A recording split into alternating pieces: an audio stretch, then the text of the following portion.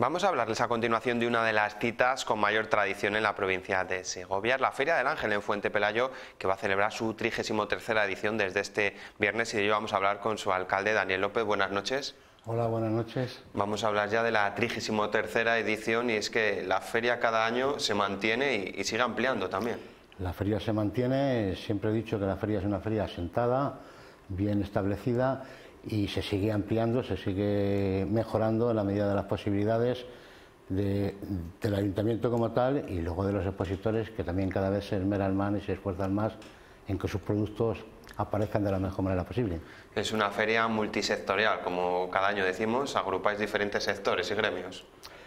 Sí, es una feria multisectorial que comenzó siendo, lo hemos relatado varias veces, eh, agrícola, ganadera, había también algún automóvil, bueno, poquito, poquitos puestos al principio, con 12 o 13 puestos se empezó, pero eso fue ampliándose, fue ampliándose y al final tuvimos que cambiarla incluso de lugar.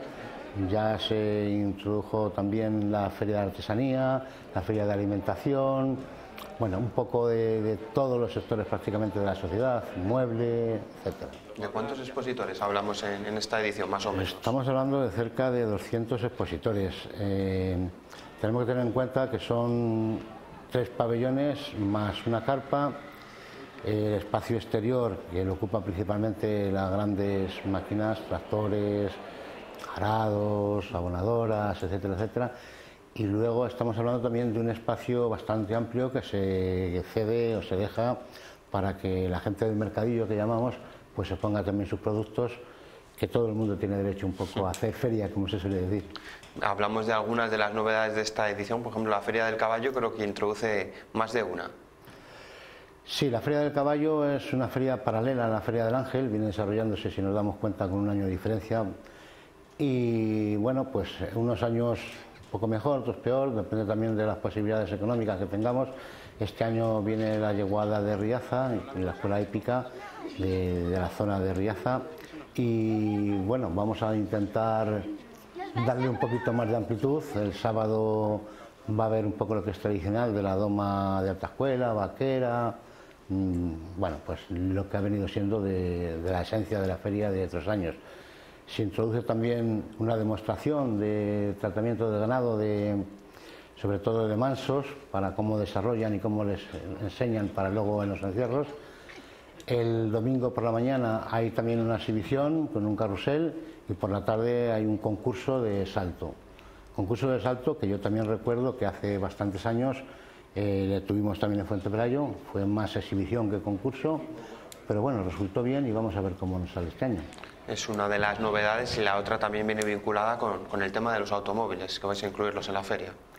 Sí, eh, también hemos dicho que la feria, las primeras ediciones había automóviles, eh, siguieron existiendo los automóviles hasta que se sectorizó un poco, se hizo la feria del automóvil y de- del vehículo de ocasión y bueno, pues este año, ya el año pasado se intentó, no puede ser, este año hay una firma que va a acudir a la feria, no sé, un montón de vehículos dice que van a llevar, el espacio que ocupan va a ser enorme y eh, bueno, pues vamos a seguir intentando que se vayan sumando nuevas firmas, nuevas marcas.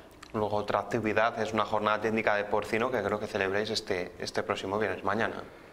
No, el eh, la- las ponencias sobre porcino de las jornadas se celebraron el viernes pasado, el día 24. Eh, yo estuve presente porque suelo acudir a todas ellas. Eh, estuvo el salón de actos mm, bastante ocupado, más de la mitad del salón de actos. Estamos hablando de un salón que ocupan más de 200 butacas. Eh, las ponencias a mí me parecieron interesantes, sobre todo para los que se dedican al tema de porcino. Principalmente lo he escrito en algún sitio porque también les dan orientaciones sobre cómo vienen los temas de Europa y sabemos que todos nos tenemos que adaptar porque el mercado es cada vez más exigente y si no perdemos el mercado. Y el domingo, el domingo, el sábado, son las jornadas agrarias de, creo que es el, El sábado, sí, a las doce y media. El sábado a las doce y media, bueno, pues en la, nos suelen organizar esta gente que se dedica a la siembra directa, del laboreo directo, y bueno, también lo vienen haciendo durante varios años, suele acudir también bastante gente interesada en el tema, y de paso pues celebran su asamblea anual. Bueno, hacemos varias cosas que es un modo de iniciar también la feria y toma, calentando motores, como se suele decir. La maquinaria agrícola sí que tiene en esta feria de Fuente Pelayo uno de los grandes atractivos ¿no? para, para todos ellos durante el año. La maquinaria agrícola es lo esencial y lo que tenemos que cuidar y mimar. Eh, tú date cuenta que llevan prácticamente las últimas novedades del mercado en tractores, en cosechadoras, en lo que son aperos generales de labranza.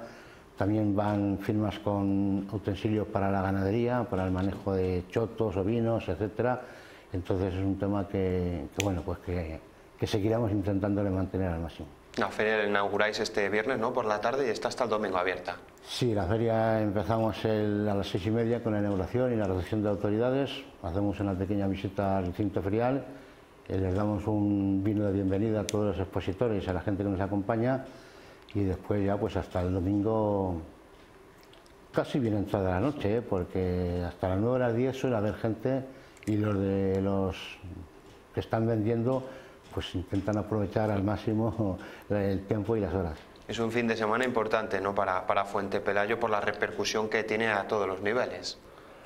Es un tema importantísimo en Fuente Pelayo. La feria se vive como un acontecimiento vamos, que se viene esperando a lo largo del año.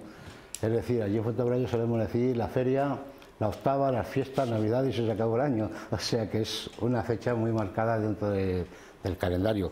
Entre otras cosas porque se lleva celebrando desde hace muchísimos años, no por los 33 años que llevamos ahora, sino que la gente mayor, que lo ha vivido más que nosotros, eh, pues hace muchos años que ya vivía esta feria de otro tipo, porque ahora, como suelo decir, eh, los caballos, los motores, van, van metidos en los, motores de los tractores, y antes había los animales de labranza, que son los mismos utensilios, lo que pasa que, bueno, pues ahora enlatados y antes sueltos.